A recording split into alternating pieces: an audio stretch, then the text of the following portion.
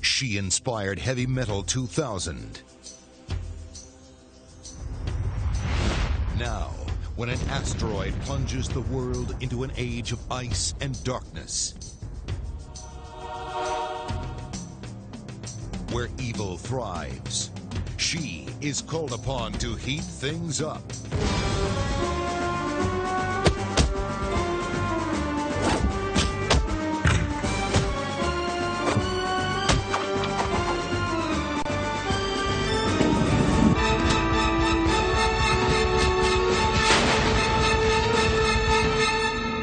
Strain is Battle Queen 2020.